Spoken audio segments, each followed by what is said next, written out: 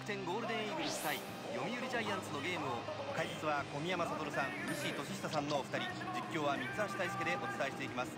お二人どうぞよろしくお願いします。よろしくどうぞ。まずはイーグルスの西さんまずはどちらのチームが先制点を取るのかここ注目ですよね。そうなんですよね。まあどうやって突破口を開くのかっていうのは。インサイド落ちました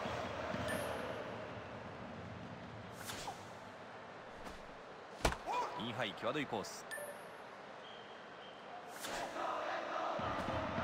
いやー角度のあるクロスファイヤーいいですねはいストレートが決まっていますワンボールツーストライクと追い込みます変化球空振りワンアウトですバッターは DH 吉田金田まずは先頭バッターを三振に仕留めていますマウンド上のピッチャーは金田そしてキャッチャーは小林このバッテリーをジャイアンツ打線がどう攻略していくか打ちました流しました。バッターは3番の坂本。ツーアウトになっています。インサイド落ちました。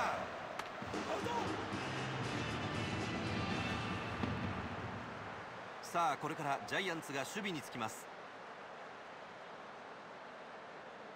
太田が打席に入ります。相手を0点に抑えてこれから1回の裏に移ります。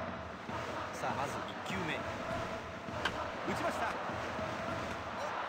バッターボックスには指名打者の柳田。金子まずは先頭バッターを打ち取っています。インサイド決まっています。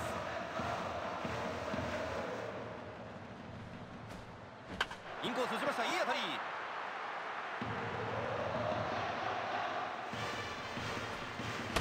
三振になります。ツーアウトになりました。3番バッター坂本。ツーアウトランナーありません。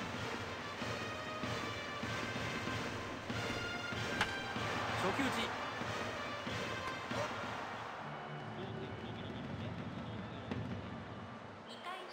2回になります。ジャイアンツの攻撃。バッターボックスは4番岡本。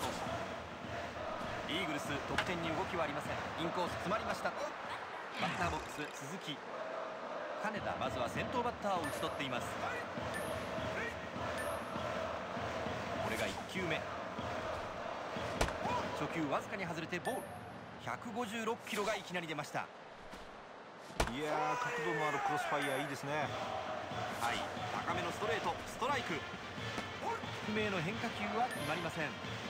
4球目は何で来るか。この球は外れていますいやー角度のあるクロスファイヤーいいですね。はいストレートが決まっています。フルカウントです。インサイド落ちました。バッターは6番ペタジーニ。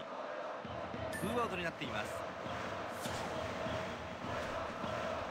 っ張った。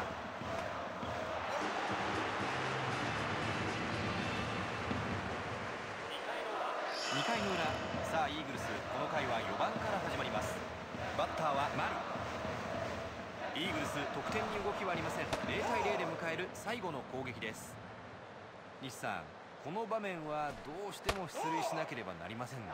うんまあここはね確実に行きたいですよね。さあまずは先頭バッターを出していきたい。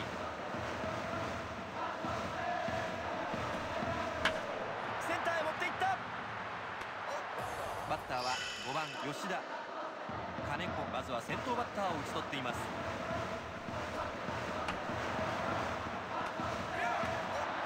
打席には6番バッター浅村。ツーアウトランナーありません。低め打った。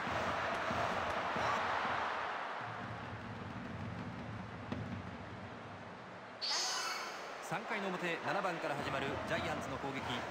打順は下位打線に入っていきます。バッターは柳田。イーグルス得点に動きはありません。0対0で最終回を迎えています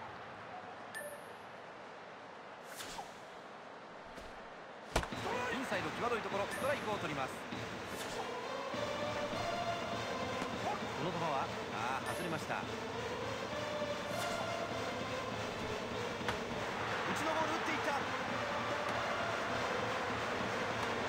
さあそしてバッターボックスには亀井が入ります。うん怖いバッターが続きますね。さあなおもピンチの場面で満塁となっている。一二塁間さあそして打席には小林が入っています。さあワンアウトになりましたが満塁のピンチ。バッターボックスには代打の岡田。まあ小宮山さんここはしっかり抑えたいですよね。そうですね。ここで点をやるわけにはいきませんからね。そうですね。さあベンチの期待に応える投球を見せてほしい。ここは三振が取れれば理想的ですね。なるほど。さあキャッチャーどこに構えるかさあそしてバッターボックスには山田が入ります。うん嫌なバッターが続きますから気が抜けませんね。さあツーアウトにはなりましたがなおも満塁の場面。初球打っていった。ジャン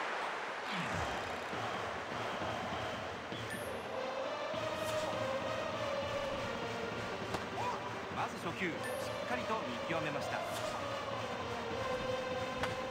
ふわふわっと上がった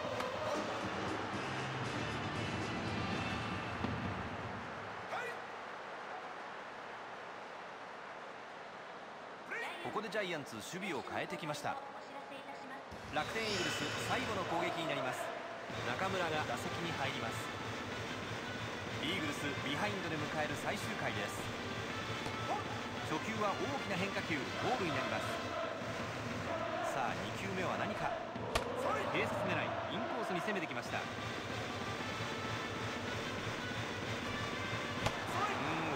した。まあ、次はボール気味に来るでしょうね、えうん、外に逃げるボールを引っ掛けないようにしたいですね。ーファースト。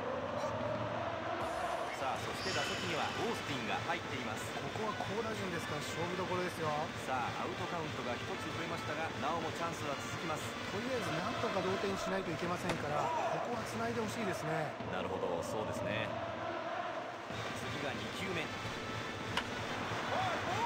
ここは甘いボールを逃さず打っていきたいですね。うんなるほどそうですか。一二塁間。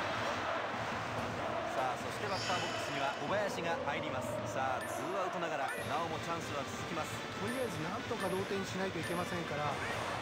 バッターボックスには代打の亀井。ツーアウトになっています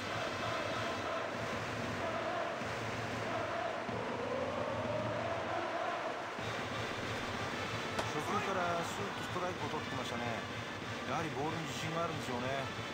うんなるほど。